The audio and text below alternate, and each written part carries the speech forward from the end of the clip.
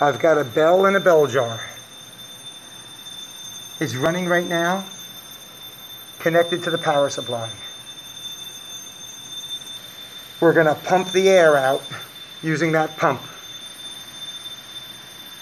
And now turn on the pump. Alright,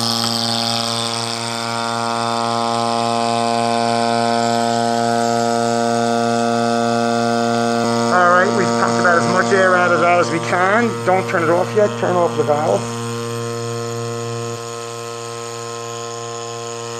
And now turn off the pump.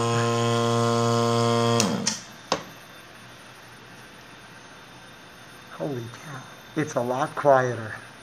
Pull the hose off by the pump. Now we're going to let the air in. Go ahead.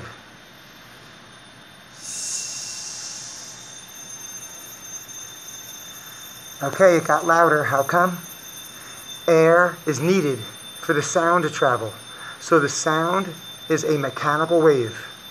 But notice that when there was no air in there, I could still see the bell. What does that tell us about light? It's a non-mechanical wave. It didn't need the air.